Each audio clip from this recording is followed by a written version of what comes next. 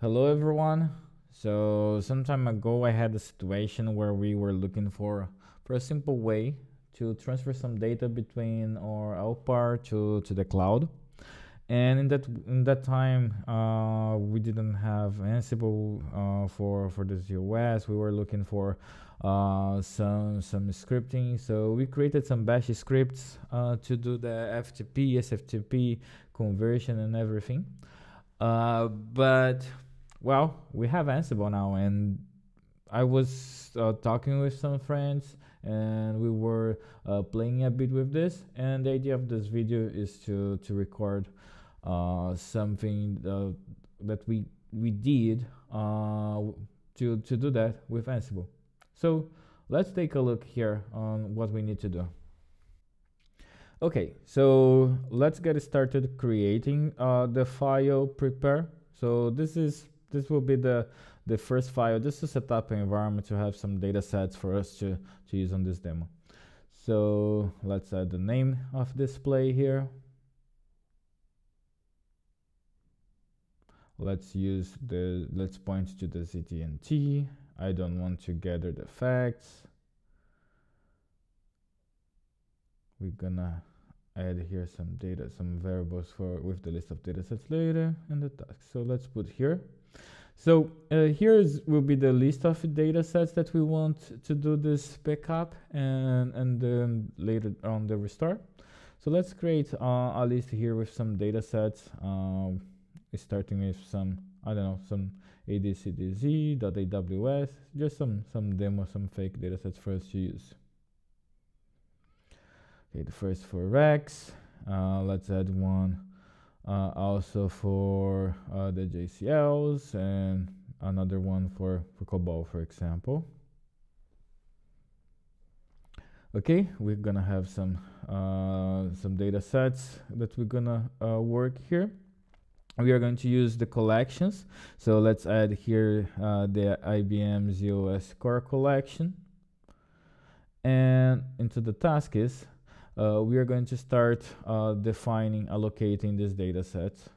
So I will use the dataset module for that to create uh, the list of data sets. The name, instead of passing one by one, uh, I'm gonna use a variable item because I, I, will use a loop here to allocate uh, this data set. So uh, here on the loop, I will pass our list. So the list of data sets. And uh, let's, well, let's add some, some content uh, for, for this data set, just for us to verify that it will be restored correctly later on. So let's copy just some info to the new data sets. Using the ZOS copy. I will use the content. I will pass uh, some some content here with the variables of each of the data sets.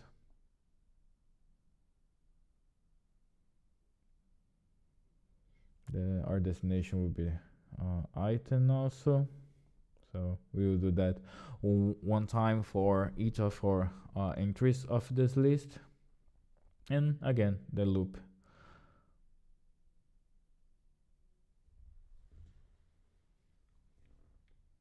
Right, so just reviewing what we have done here.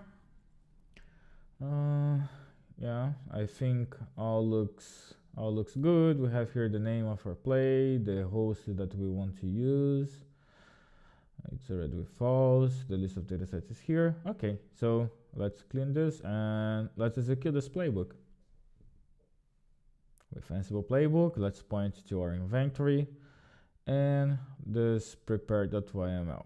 Okay, so the playbook will run now. We'll create uh, all the data sets we have on our list.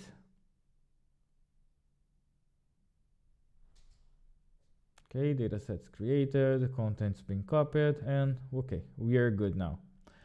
Nice.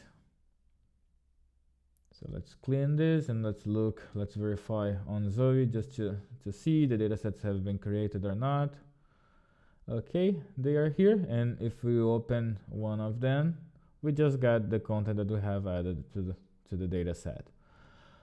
Okay, nice. So now uh, the next step, uh, we are going to create uh, our playbook to do this this action. Really, what we are willing to do.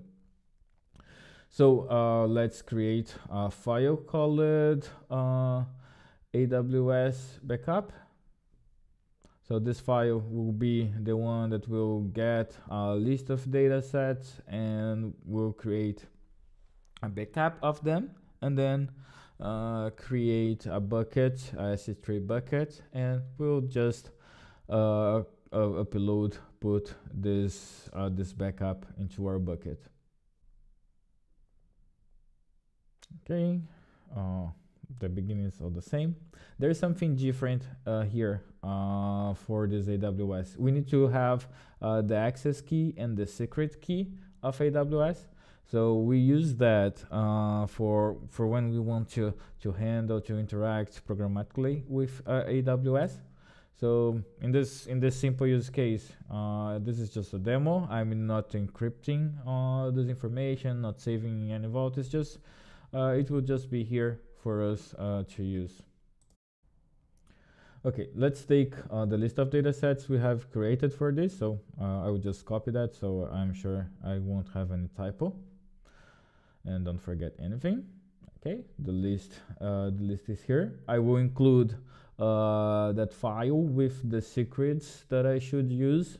Um, I don't, I'm not using uh, the Vault, so it, it's just the file. And when I, I, I, call that, I don't need to pass password. It's just um, just to read uh, these variables here. So I'll use my uh, real uh, credentials for this demo, my secrets files.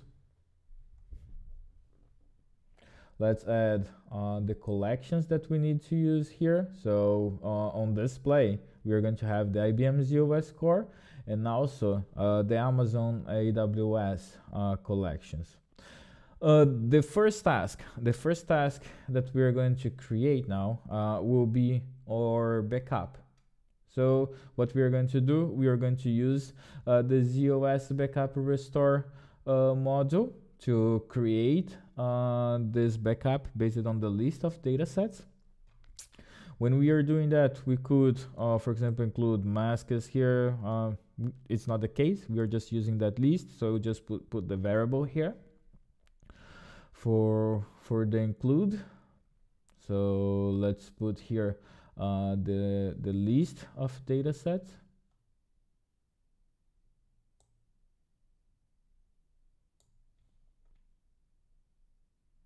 okay now let's create the change the the backup name. So this is the location where we're gonna save this uh, before we do the upload. And unfortunately we need to at this moment uh, we need uh, to to create this copy on the USS we could use for example a temp file for that. Okay there was a typo here. Just just fix it. And okay so the backup should be good. Uh, now now we need to uh, to prepare our bucket and upload. So I'll use my snippets here and to create uh, the bucket. I, am not changing that. Uh, so the name the name of the bucket you see it's updated at the same time will be uh, hello mainframers. I like that from GSC so okay yeah we can use versioning for this for this bucket here the formation of the the secret keys. So the object uh, how it will be named uh, into the S3 so hello backup and the the path for for the backup that we want to upload to this bucket. Okay we are going to use the put uh, well all looks good. So let's save it uh, okay um, let's change this to to true so that we don't have the highlight. And now now we can test that. So let's review for the last time. Oh remove the exclude. And yeah I think now now looks good. So just a quick review. And okay So let's execute that. So let's clean and let's call this with the Ansible playbook. Uh, let's use our inventory and let's run our AWS backup. So uh, the backup was created. Now the bucket will be created on, on my AWS account and we should we should have the upload perfect uh, one important thing that I have I haven't not mentioned uh, is that uh, here when we are using these AWS modules, uh, it doesn't matter really uh, where uh, we are going to uh, to to run that. I mean the target, the host is that we are going to use. So what happens is that uh, it will use the Boto3 library. So this is a requirement that we need to have on the LPAR in this case, if we are running this on the LPAR. And, and that will, will do all the calls uh, for us uh, to our S3 bucket. Okay, right. So, well, I think we are good to, to open the Chrome and let me access the console of my, my account so we can verify the bucket is there. So let's remove it. Let's let's open my SC3.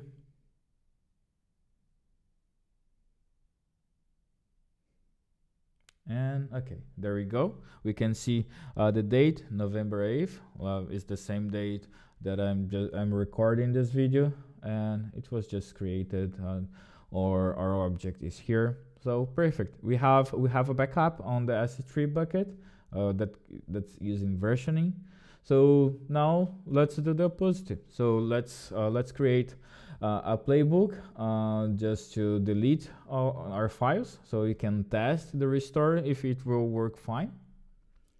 So I will start copying. Uh, I will start with the copy of the the prepare. We'll change uh, some information here. Just just should be date and be and be simpler uh, to run this. Okay let's update it. The list uh, we need the list just to ensure we we are deleting everything uh, so here it should be the same. Uh, or ZOS dataset. So here all we need to do is change it to absent and, and Ansible understands that it, it needs to, to delete. Let's uh, let's copy uh, the path of our object because we want to download a new one and we want to ensure that there is it, it's really the one that we are getting from our bucket. So let's use the the file module for that to delete uh, the the backup file that was created here. So we can download another one with the same name in the same place and we know that is the one that we are getting. Uh, we don't need this for for this. And this is with absent already. Okay so delete should looks good. So well let's let's run that. Let's open the the Zowe here so we can verify the files and when we run our playbook okay it's here the data sets they are here. Okay uh, so let's delete. So i will clear and let's let's use the Ansible playbook with our inventory and this time calling the delete. Okay deleting data sets first one deleted. Okay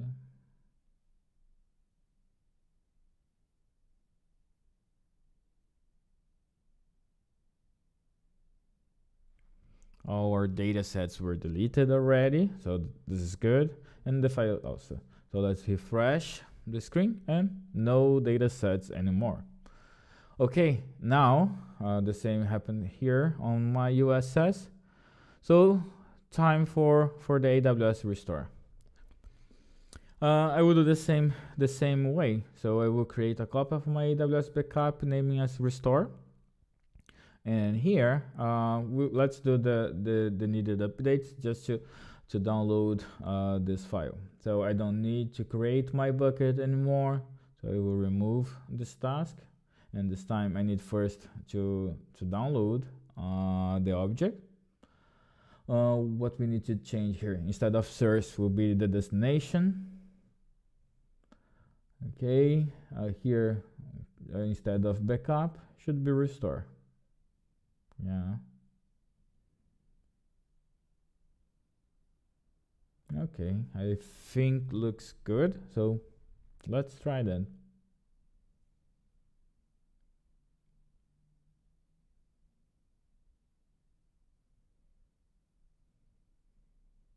And let's review, yeah.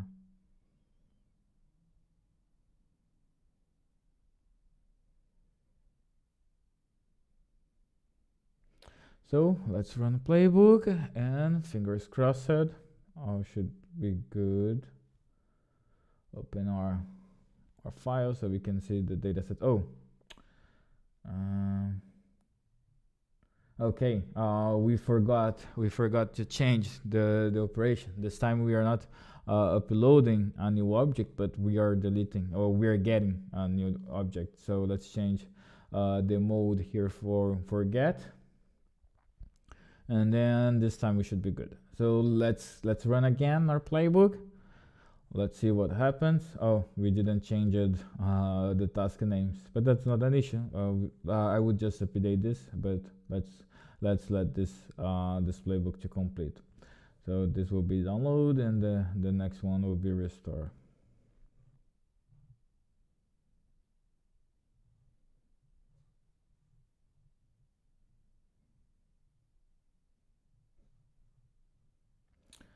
Cool. So all the operations are completed. Uh, task names rename it so you can get the samples later on. And here we go. Our data sets are now restored. We just uh, completed. So we have our playbooks uh, to put some data into AWS and to restore that. Oh well, hope you have enjoyed that and till our next video. Bye bye.